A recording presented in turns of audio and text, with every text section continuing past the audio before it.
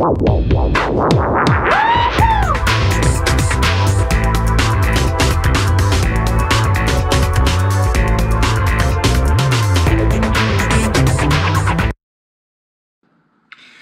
Borgheide, hallo Welt. Ja, da ist er schon wieder, der Lutze. Schon wieder Montag, so schnell geht's. War ja letzte Woche erst Montag, diese Woche schon wieder Montag.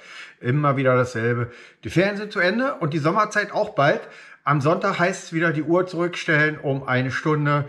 Dann geht's in die Winterzeit und dann dauert's nicht mehr lange. Dann haben wir fast wieder Sommerzeit. Ist ja nur ein halbes Jahr. Dann haben wir wieder warmes Wetter. Jo, was ist los? Was kommt? Was war gewesen? Als erstes der 26.10. Das ist Samstag diese Woche. Da ist wieder so viel los in Borkheide, weiß man gar nicht, wo man zuerst hinrennen soll. Wir fangen einfach mal an mit Edda, der besondere Abend. Diesmal ein Konzert äh, im Hotel Fliegerheim wieder. Eintritt ist frei, äh, damit jeder, der möchte, unabhängig vom Geldbeutel die Veranstaltung besuchen kann. Und äh, die Gemeinschaft sammelt ja doch immer, oder Edda sammelt immer eine Spende. Und wie sie schreibt, ist das ist die Solidargemeinschaft für das Spendenaufkommen mehr oder weniger verantwortlich. Und da kommt wohl immer ein wenig gutes Geld zusammen. Äh, ja, was ist da einfach los? Natürlich, der Countertenor Nils Wanderer kommt nach Bockheide. Mit ihm ist Barockmusik, immer vital und spannend. Begleitet wird er von Tabea Hubert mit Cello und Bastian Ulich Cembalo. Das Ganze natürlich, wie gesagt, um 17 Uhr im Hotel Fliegerheim in Borgheide. Ebenfalls am Samstag, und zwar ab 19 Uhr in der Gaststätte am Waldbad, ist wieder der beliebte Dartabend dran. Wer da Lust hat, geht einfach, wie gesagt, auch ab 19 Uhr hin. Und die nächste Veranstaltung, auch am 26.10., lädt die Hans-Grade-Gesellschaft im Rahmen der Aktion Feuer und Flamme für unsere Museen von 13 bis 20 Uhr zur letzten Präsentation des Hans Grade Sommers 2019 an. Da wird der Grill angezündet, da gibt es Getränke, man kann das Flugzeug besichtigen, es gibt Zeitzeugen der Landung der IL-18 und wenn alles gut geht, ist auch äh, das Hans-Grade-Auto aus Borgheide von Rudi Lapön vor Ort. Das ist noch ein bisschen wackelig, weil der Rudi leider ins Krankenhaus muss, kurzzeitig zu einer Untersuchung. Aber er gibt sich Mühe, rechtzeitig wieder da zu sein. Und äh, jo, das Auto zum Anfassen mal zum Besichtigen und Anfassen dort hinzustellen. Jedenfalls wünschen wir ihm alles Gute auch für seine Untersuchung, dass es in Ordnung ist. Es sind ja auch Matze und Lutze da, also wir beide von BNTV. Wir übernehmen ein wenig die Moderation und machen ein bisschen Mucke dort vor Ort und freuen uns auf euch. Kommt einfach zuhauf zur letzten Veranstaltung der Hans-Grade-Gesellschaft. So, weitere Termine in Borgheide habe ich ja auch noch zur Verfügung und zwar der 6.11. Das ist natürlich logischerweise im November die zweite Vorbereitungsveranstaltung für den Weihnachtsmarkt im Waldbad. Am 22.11. gibt es die nächste große Party. Das ist die obligate herbstliche Glühweinveranstaltung von Borkheide News TV. Also wir höchst selbst mit Bratwurst und Getränken im Jugendclub Borkheide. Und auch da freuen wir uns natürlich wieder, wenn ihr massig dort erscheint. Und am 14.12. ist der Weihnachtsmarkt im Waldbad Borkheide schon wieder angesagt. Und wenn das vorbei ist, ja, dann sind die privaten Weihnachtsfeiern noch. Und im neuen Jahr geht es gleich weiter am 1.1. mit dem traditionellen Eisbaden ebenfalls im Waldbad Borgheide. So viel erstmal zu den Terminen. Ich hoffe, ich habe hier nicht groß was verschwitzt. Kommen wir gleich mal zum Sport und zwar Fußball. Ja, Fußball, äh, Borgheide hat gespielt gegen Turbine 1 Potsdam in Borgheide. Und äh, ja, man könnte fast sagen, die haben endlich mal verloren. Was heißt endlich mal? Die müssen auch mal verlieren. Ne? 3 zu 6 haben sie leider verloren. Das hat aber noch nicht zu sagen. Äh, wir hören einfach mal, was der Trainer dazu sagt. Bitte. Läuft? Keine Ahnung. Ha, das du doch wissen. Hase. Schatzilein. Und? Fang an. Borgheide, Fußballspiel, Sonntag, Oktober. Die Sonne lacht. Äh, wo ist der Trainer? Trainer, komm her! Junge, komm, wir tauschen mal. Der weiß mal, wie schwer Fotografie ist. Ich halte den so lange. Ja. Ja. Merkst du es im Arm? Ja. Ja. Ja, und heute musstest du ganz schön häufig halten. Ne? Ich habe das Maskottchen hier und das Mikrofon, mein lieber Markus. Das Spiel ist diesmal nicht ganz so gelaufen, wie wir uns das vorgestellt haben. Wir haben gegen den Absteiger drei Tore geschossen. Ja, das ist positiv, genau. Wir haben, und das ist nicht äh, aus Kreisliga abgestiegen, äh, gute Mannschaft, sehr gute Mannschaft. Äh, heute verdient der Sieger hier auf dem Platz. Und ja, wir haben drei Tore geschossen.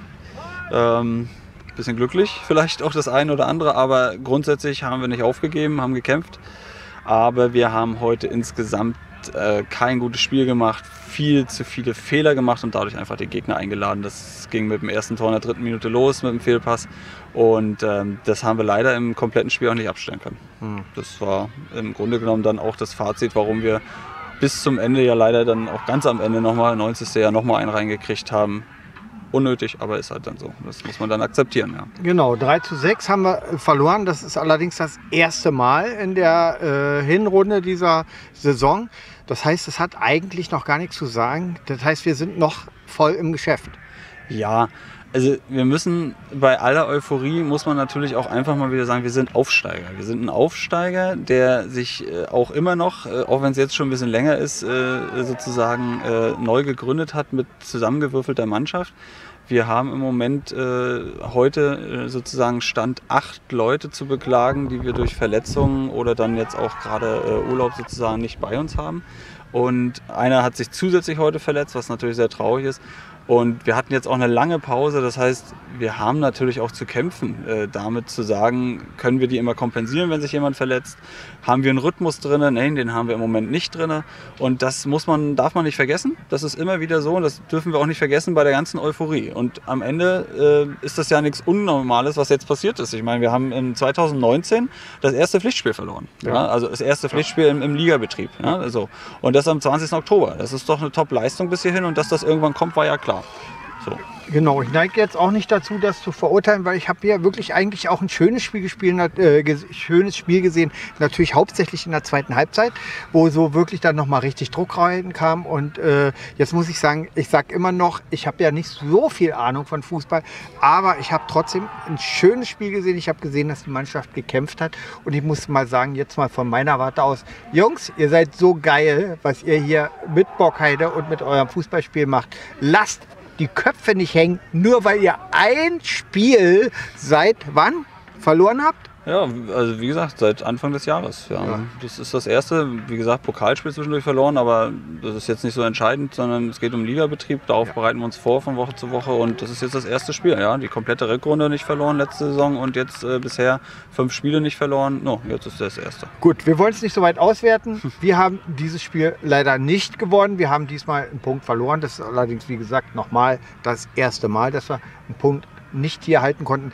Ähm, wir haben das nächste Wochenende wieder ein Spiel hier auf heimischem Sch- äh, Sportgelände. Und äh, du hast noch so ein Anliegen, was du gerne an die Bockheider loswerden möchtest. Genau, also ich wünsche mir von der sowieso immer wiederkehrenden Unterstützung der Fans sozusagen nächste Woche am liebsten noch ein bisschen mehr äh, Unterstützung. Äh, selbst wenn man vielleicht Fußball nicht so mag, wir werden hoffentlich wieder so ein schönes Wetter bestellen. Ähm, kommt einfach vorbei. Ähm, es gibt einen äh, lieben Menschen in Borkheide, der äh, gestorben ist und ähm, im Moment leider so unglücklich, dass er noch äh, im Ausland ist und wir die Überführung halt oder beziehungsweise die Familie die Überführung selber bezahlen muss. Wir als Mannschaft, äh, Borkeider SV Herrenmannschaft, unterstützen eine Spendenaktion für nächste Woche, werden also beim Heimspiel Spendengelder sammeln, um die Familie zu unterstützen. Und da würden wir uns freuen, wenn viele dabei sind. So, ihr habt es gehört. Also kommt zuhauf am nächsten Wochenende. Wir spielen übrigens gegen wen nächstes Wochenende? Ich weiß es gar nicht. Ich, Du weißt es gar ich nicht. mich, ich konnte erst, wenn das eine Spiel rum ist, gucke ich wieder, gegen wen Markus, wir das nächste spielen. Ich blende, weiß das jetzt hier gerade noch, nicht. ich blende das hier noch mit ein, gegen wen wir spielen. Wir haben es nicht immer auf dem Plan, weil wir sind immer mit dem Spiel beschäftigt, was hier gerade läuft. Wie gesagt, äh, wir würden uns tatsächlich über ganz viel äh, Fan, Fan äh, Trupp. Wer ist das denn? Lok Sedin Ah, nächste Woche. okay. Übrigens, ja, darf ich mich mal einmischen kurz? äh, damit brauchst du es nicht mehr einblenden. Jetzt habe ich dir ein bisschen Arbeit genommen, weil ich jetzt einblenden müssen. Sehr gut. Wer? Sedin kommt. Ich. Okay, Lok Sardin kommt. genau.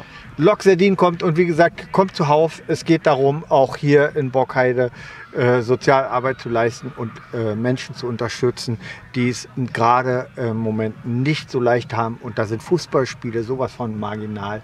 Aber wir haben zwar verloren, aber nicht wirklich. Oder? Ja, ergebnistechnisch schon.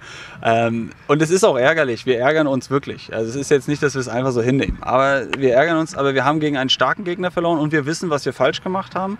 Und daran können wir arbeiten. Und Ach, das werden wir Moment, tun. weil ich noch sagen wollte, ich habe ja. keine Ahnung, aber das Also- ist doch eigentlich rein technisch gesehen zwei Ligen Unterschied, oder? Aufsteiger gegen Absteiger. Nein, alles cool. Wir wünschen euch alles Gute hier. Das war's. Wir machen hier einen Cut. Wir sehen uns wieder am nächsten Wochenende, am Sonntag, wieder ab 14 Uhr. Wir haben Winterzeit hier auf dem Fußballplatz, hier in Bockheide auf unserem Sportplatz. Und bitte bringt eure Freunde und Gäste mit und spendet bitte für die Familie, die es ganz dringend nötig hat, wie Markus schon sagte. Und die Fußballmannschaft steht komplett dahinter und natürlich wir von Bockheide News TV ebenso. Herzlichen Glückwunsch für den Nicht-Gewinn. Oder wie sagt man das? Kann man da beglückwünschen für? Ja. Nein, das war Nein, cool. das Doch, man das nicht. war gut. Das war schön. Wir sehen uns nächsten Sonntag. Ja, man kann, wenn man Die Kamera der schwer, ne? Kann man nicht äh. Alles gut, danke euch. Ciao. Tschüss. Ja, warum schreien die so? Weiß ich nicht. Die feiern ihren Abstieg aus der letzten Saison. Ja, danke Markus für deine Einschätzung und natürlich auch für deinen Aufruf. Also wird das nächste Fußballspiel hier in Borkheide auf dem Fußballplatz sozusagen eine Benefizveranstaltung, äh, womit wir die Familie unseres verstorbenen äh, Gemeindemitglieds äh, Micha etwas unterstützen wollen. Das heißt, wer möchte, kommt einfach mit zum Fußballspiel nächste Woche gegen Sedin und äh, wir schauen, ob wir den Platz nicht voll bekommen und die Familie mit äh, einer Spende ordentlich unterstützen können. Ja, das war es eigentlich soweit erstmal dazu. Jetzt fehlt uns nur noch das Wetter, Matze. Jetzt bist du wieder mal dran. Hallo Lutze, hallo Borkheide, hallo Welt. Montag ist geschafft, Zeit fürs Wetter. Kommende Woche droht uns eine schöne Herbstwoche mit ein wenig Sonnenschein und manchmal ein paar Wölkchen, aber so gut wie keinem Regen. Es bleibt um die 18 Grad in der Woche und nachts so um die 10 bis 11 Grad. Das war's. Schöne Woche gewünscht. Tschüss. Ja, vielen Dank, Matze. Wir werden sehen, ob das wirklich so eintrifft, wie du gesagt hast. Und das war's jetzt auch schon wieder hier bei Bockheide News TV. Ich denke mal, wir sehen uns wieder am nächsten Samstag, wenn ihr wollt, bei der Veranstaltung auf dem Flugplatz, beziehungsweise sonst am Montag, wie immer hier bei Bockheide News TV auf unserem YouTube-Kanal. Bis dahin alles Gute, wie immer, euer Lutze und tschüss.